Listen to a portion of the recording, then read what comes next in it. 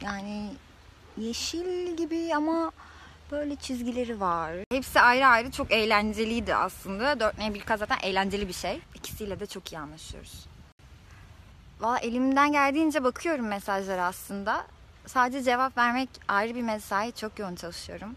Yuh dedim. Çok eğlenceli karakter, müthiş bir karakter. Bunu ben oynamak istiyorum dedim. Çok seviyorum. Ee, zaten beni seven herkese severim. Ressam olmak isterdim. Yönetmen olmak isterdim. Küçükken Galatasaraylıydım. Sonra Beşiktaşlı oldum.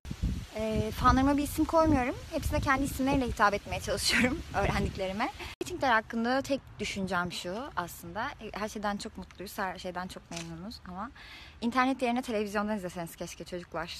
Bana Gözde Mu diyorlar. Şimdi kitabın yeri bende apayrı. Hepimizde olduğu gibi. Dizi bambaşka bir kurguda ilerliyor. Dizinin yeri de bambaşka ayrı. Ya hayır ben kitapları kitap olarak okumayı, böyle taşımayı falan seviyorum aslında. Biraz şey minik. Miniyim. Aslında o kadar da değildim. Ama artık tam bir yaprağım. Tamamen yalnızız. Hiç hiç hiç, hiç kimse yok. Bilmiyorum dönüp dönüp dinlediğim mesela şey var. Ee, Adamların Orada Ortada diye bir şarkıları var. Hmm, hayır. Her rengi seviyorum. Her rengin belli tonlarını seviyorum. Hmm, Başta yaprak. Sonra Oğuz. Hmm, Set başlamadan önce Kapadokya'ya gitmiştim tek başıma. Çok güzeldi. Oraya tekrar gitmek istiyorum. Şimdi dizide kitaptan öğeler tabii ki de var. Ama kitap bambaşka bir şey. Kitapta ayrıca okumanı tavsiye ederim. Diziyi de izlemeni tavsiye ederim.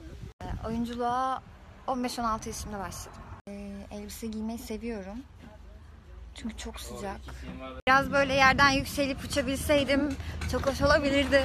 Ya, tabii ki de oluyor. Ee, ama bir şekilde hallediyoruz artık. Uzaktan yardım, anne yardımı. Anne, anneciğim seni çok seviyorum. Bunu işin erbabına soralım. Buyurun. Bir bölümü. Bölümü genelde 6 günde çekiyoruz. Başka sorun neydi? Kaç saat? Ee, Günde kaç saat? 12 saat çalışıyoruz.